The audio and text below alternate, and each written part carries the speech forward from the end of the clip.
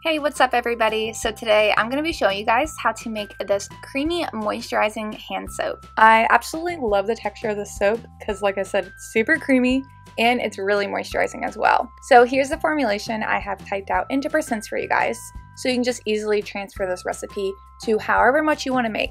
And if you don't know how to transfer a formulation to a weighed out recipe, I will link down in the description box below to a video that shows you guys exactly how to do that. So in this video, we're going to be making 300 grams, which is about 8 ounces. It's a little bit more than that, but it's right around 8 ounces. So let's get started. First off, you need a digital scale that weighs to 0.01 grams, and I'm using this glass beaker that is a 400 milliliter glass beaker. So first off, I'm using 190.5 grams of distilled water, you can use some kind of hydrosol or aloe vera liquid here if you guys would like. I'm just using distilled water. Then I'm adding in 12 grams of vegetable glycerin, and this will act as a humectant and moisturizing agent to help hydrate your hands. Then I'm using 12 grams of Propanediol, which again will help moisturize your hands and it will also help get rid of that greasy feeling that some people may find with glycerin. I personally don't find it to be greasy, but I know some people can find it to be greasy. So this will help get rid of that greasiness and it'll help moisturize your skin. Then I'm using 15 grams of avocado oil, which you can substitute this out for any other carrier oil you would like.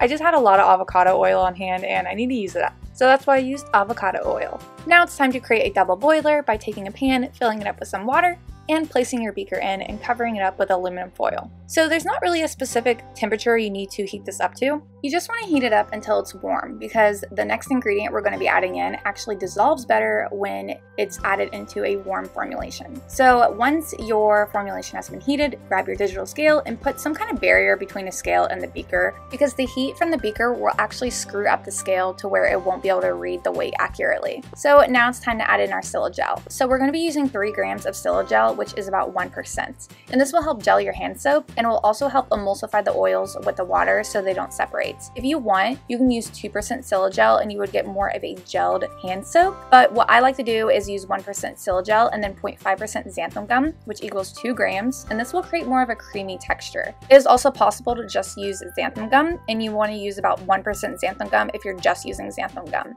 So now that we have all of our powders in, it is time to grab an immersion blender and blend everything together. And everything will instantly start gelling and thickening up and you just want to keep blending until you get a nice thick gelled consistency. So now that everything is nice and blended, you just want to let it sit until it returns to room temperature. And once everything has returned to room temperature, it's time to weigh out our surfactants. And this is the ingredient that's actually going to be cleansing your skin and creating a lather. The next ingredient we're using will also be helping with that. So first off, I'm going to be using 30 grams of gentle foam. If you don't have gentle foam, you can use any other kind of surfactant you would like. Just make sure they're compatible and make sure they're compatible with the ingredients you're using. And then I'm using 30 grams of coco glucoside. This also works as an emulsifier, so if you don't use Siligel and you just use xanthan gum, this will also help blend the oils and water together so they don't separate. Now you just want to gently blend in your surfactants. Make sure you're not creating any foam here and just gently mix it in. And now it's time for our preservative. I'm using 4.5 grams of Optiphen Plus. You don't have to use Optiphen Plus just as long as you're using a broad spectrum water soluble preservative. Then you want to blend in your preservative to make sure it's well combined.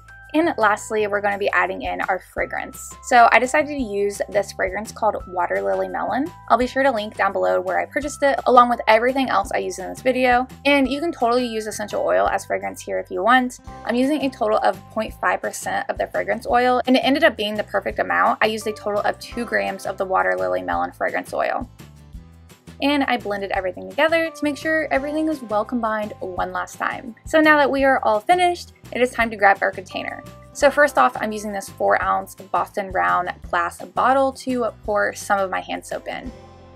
Then I use this little white plastic pump, that way I can easily dispense it out whenever I need to wash my hands. I then grabbed another 4 ounce bottle and poured the rest of my hand soap in this one and just used a little basic cap to seal it up until I run out of the first one, that way I have a backup whenever I need it. So here's how the hand soaps look once they're finished, and the one last thing I did is I made a little custom label that says hand soap, so you know when anyone comes over, they'll know which bottle is the hand soap. So here's just a little look at what the texture looks like. I don't know how well, you know, you can tell on camera, but seriously, this is such a nice creamy gelled consistency, and it feels so soft and moisturizing on the skin. Absolutely love this hand soap. It's definitely been my favorite recipe I've ever made of hand soap. So now that we have reached the end of this video, it is time for my Patreon shoutouts. First up is Herbalist Tracie, She owns Essence of Nature over on Etsy. I did a review over her products in the past. I'll link that below along with her Etsy link down below.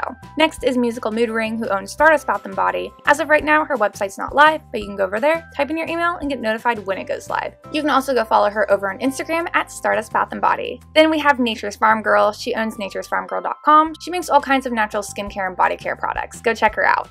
Then we have Kennedi's Essentials, and she makes all kinds of natural hair care products. I did a review over her products in the past, go check it out and go check out her websites. Then we have another brand that I've done a review over. It is called Let's Blend. So go check out the review I did and go check out their websites. Then for the next shout out, this is actually a spa that's located in Miami, Florida, and it's called Young Forever Aesthetics, and they specialize in plant-based facials. You can also go follow them over on Instagram at Young Forever Aesthetics. And next up, we have Reese Porter, who owns Creative with Love. She sells all kinds of natural skincare products as well. Go check out her website. It looks like Valentine's Day. And last but not least, we have a Wonderful Body Co. And they make book-inspired bath and foot soaks. I have a review over their brand coming soon, so look out for that. Also, if you guys didn't know, I sell my own skincare products over on Etsy. I'll put a link down in the description box and up in the corner so it's easy for you guys to find.